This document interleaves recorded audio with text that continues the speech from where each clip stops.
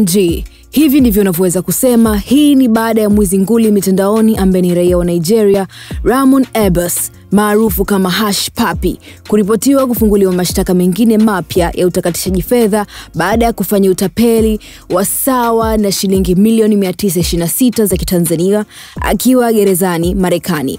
Waendesha mashtaka wa Marekani waliwasilisha hati mbele ya mahakama ya wilaya ya California siku ya jana Machi 16 pamoja na ushahidi kuhusiana na Hush Puppy kutenda uhalifu katika ofisi ya magereza.